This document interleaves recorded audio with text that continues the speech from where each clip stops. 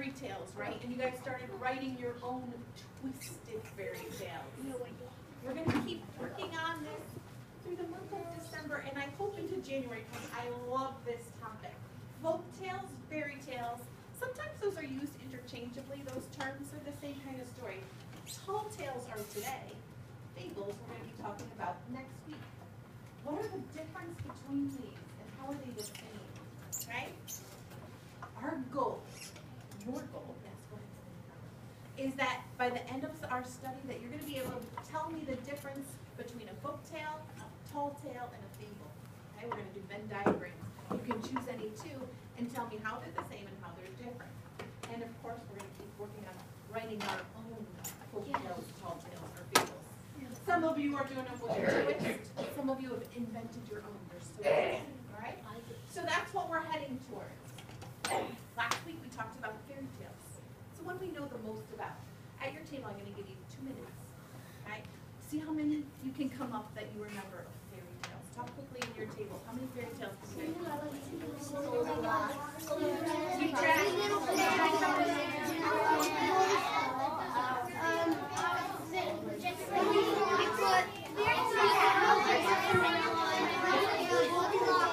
Tyler said your own that you've written, they can count, I love it.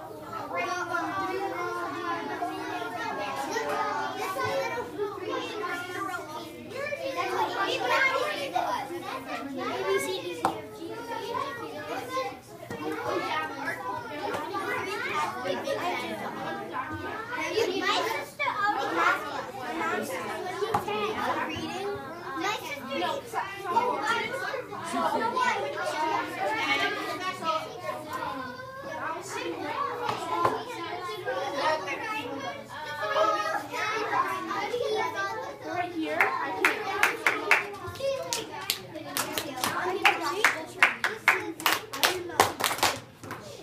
I heard lots of good fairy tales coming from every table. Take a look at our screen here.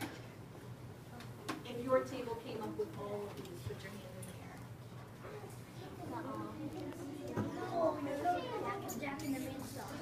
Hands down.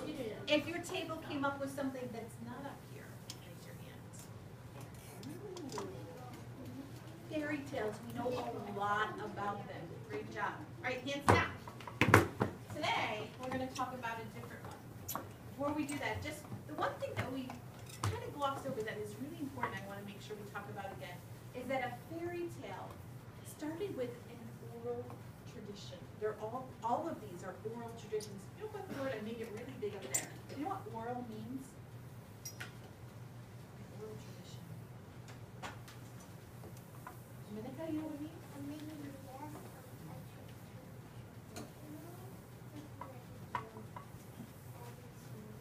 Good, the word tradition we know, because it's something we do all the time.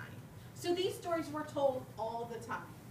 Oral means, though, that they were told by mouth. They started centuries ago, these stories. The stories of Cinderella come from the Native Americans. They come from so long ago. There were not libraries, there were not books to read, there were not computers to look books up. Oral tradition means these people told these stories over and over. The grandmother, grandparents told their grandkids, then they ended up telling their grandkids by mouth because they didn't have books. So they told the stories. Oral means mouth, by mouth, okay? So all the stories that we're going to be talking about started as oral traditions, oral stories that people told their kids over and over. Most of them are going to feature people. They may have animals, witches or fairies in them, right? This one is the most important thing. All of them, again, because way, way, way back then, they didn't have computers, scientists, people to tell them how things came to be. These stories taught their kids a lesson. They told them to teach a lesson. Okay? Adam? Um, we were working on like the stuff in our in our classroom that teach that that they teach a lesson and stuff. Right. So it's a cool way to teach a lesson, right? Because kids don't like being told what to do. But if you tell them an interesting story that ends up having a lesson, they learn it a little bit better. All right. The stories we're going to talk about today, tall tales, have what is called exaggeration in them. I wrote exaggeration really big and blue up there. The word we need to know. Here's a sentence that has an exaggeration in it. You can find exaggeration raise your hand. I ate so much turkey over Thanksgiving, Thanksgiving, I couldn't move. What's the exaggeration in that sentence? Yeah? I couldn't move. I could move. I could move, but I just felt so full I couldn't move. Right? I stretched it a little bit. I exaggerated it so you could really tell how I was feeling. Tall tales, the stories we're going to do today, have exaggerations in them. Tall tales started with telling stories orally about real people who did amazing things. But then those stories became exaggerated, and that's why we call them a tall tale. Right? So they have exaggeration in them. They're about real people. Do you know any tall tales? People who are featured in tall tales?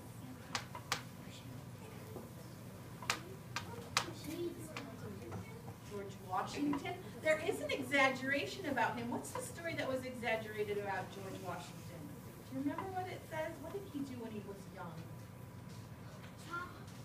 Yeah. And he said, I can't tell a lie, right? I did this. I chopped down this cherry tree. Told his parents the truth. We think that really happened, but maybe that story's been exaggerated. George Washington was a real person, and there's real stories about him. Cool. Anybody else have one? Thomas? Steph Curry. I don't know, has anything been exaggerated about him yet? Yet, but maybe years from now, when you're talking to your kids or your grandkids about Steph Curry, he was the best basketball player in the world. He could shoot from anywhere and it would swish, right? Tall tales are stories that are exaggerated. Take a look. Here are some of our tall tale people. Does anybody recognize any of them? Adam, check on your table. Tyler, who'd you recognize? Johnny Appleseed. Johnny Appleseed. We all know the story of Johnny Appleseed. He was a real person. He was born in Massachusetts. What is he famous for? What's he famous for? Right, he planted apple trees supposedly across our country, right? Way back when. It's true he planted apple trees. He's a real person. How much of his story is true and how much is exaggerated? We don't exactly know. Anybody else re- recognize up there? Gianni? Well, uh, I remember when we were watching a show about him. His shadow was long when he was an old man. Right. So that's exaggerated.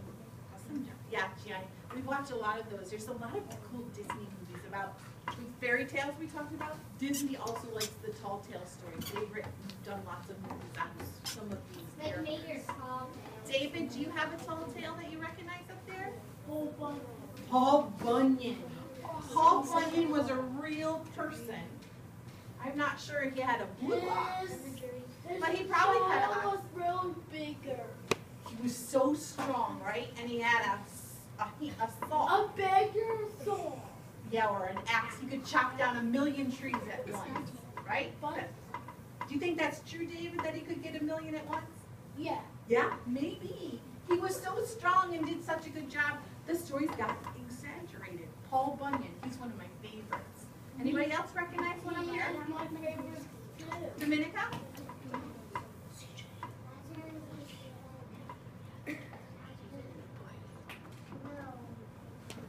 You knew the Paul Bunyan? Yale, do you recognize one? Adam? Johnny Appleseed, Paul Bunyan, those are the two we know the most. Dylan? John Henry. Do you know the story of John Henry? Yeah. Yeah. Dylan, how's the story of John Henry go? He was uh, faster than um, The steam engines, right? John Henry, his job, he lived way back in the time where they would pick the cottons, and they were starting to rail, lay the rails across our country, right? St- Trains had just been invented, so they're starting to lay the railroads down. That's some, a job somebody had to do, right? They weren't always there. We had to lay them down. So John Henry was so fast that he could put a railroad spike in with one hammer blow. Other guys, it took six or seven tries. That's the exaggeration. Maybe it's true, but we're not sure.